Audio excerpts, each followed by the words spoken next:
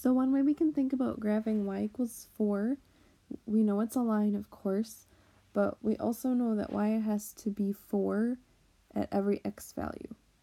So we can start by graphing 0, comma 4, and we can just go to any other x value and make sure that y is 4 there. So we can try negative 1 and positive 1.